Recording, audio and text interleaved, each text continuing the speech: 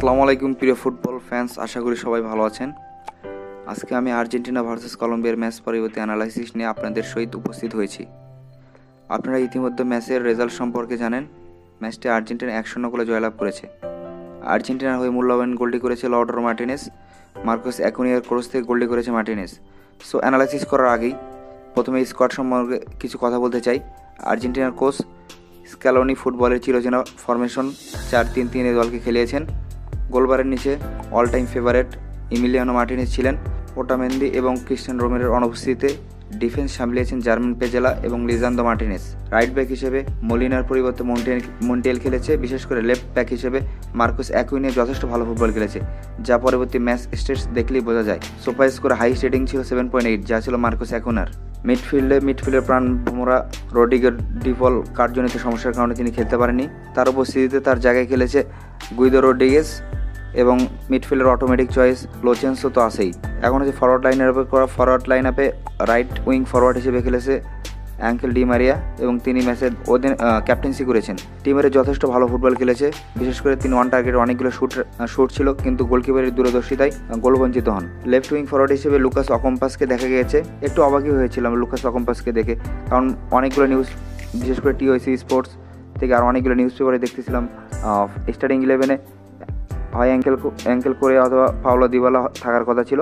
পরে match স্টার্টিংয়ে Lucas অকম্পাসকে দেখে just একটু অবাক হয়েছিলাম।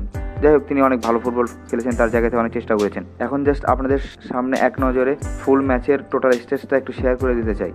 টোটাল পজিশন ছিল আর্জেন্টিনার বল পজিশন সেভেন পার্সেন্ট কলম্বিয়ার ছিল forty three percent shots on target আর্জেন্টিনার টোটাল শর্ট ছিল ষোলোটা ওয়ান টার্গেট ছিল পাঁচটা কলম্বিয়ার টোটাল শট ছিল পাঁচটা অন টার্গেট ছিল দুইটা। পাঁচ অ্যাকিউরেসি আর্জেন্টিনার ছিল অষ্টাশি পার্সেন্ট কলম্বিয়ার ছিল একাশি পার্সেন্ট টোটাল ফাউল আর্জেন্টিনা করেছে বারোটা, কলম্বিয়া করেছে সতেরোটা। কলম্বিয়া ইদানিং সব ম্যাচেই ম্যাক্সিমাম টাইমে ফাউলের সঙ্গে বেশি থাকে। কারণ আমরা কোপা আমেরিকা থেকে দেখতেছি, বিশেষ করে কলম্বিয়ার কলম্বিয়ার টিমের প্লেয়াররা একটু ফিজিক্যালি স্ট্রং ল্যাটিন আমেরিকার অন্য অন্য টিমের প্লেয়ার থেকে। তো তারা সবসময় ফিজিক্যালি অনেক বেশি ট্যাকেল অনেক বেশি চার্জ করে থাকে। ইয়েলো কার্ডের সঙ্গে ছিল আর্জেন্টিনার দুইজন ইয়েলো কার্ড দেখেছে, কলম্বিয়ার দুইজন ইয়েলো কার্ড দেখেছে। যাই হোক পরিশেষে কিছু কথা বলতে চাই। বিশেষ করে এই আর্জেন্টিনা এই আর্জেন্টিনা টোটাল উনত্রিশটা ম্যাচ অপরাজিত এখন পর্যন্ত, যা সত্যি অবিশ্বাস্য সাকসেস কিছু কথা না বললেই নয়, এই এই আর্জেন্টিনা যেন ভুলে গেছে পরাজয়ের স্বাদ। প্রত্যেকটা প্লেয়ারের মধ্যে যে আলাদা ডেডিকেশন জেতার ক্ষুধা, এ যেন এক অনন্য প্রেমের দেশপ্রেমের উদাহরণ। আমরা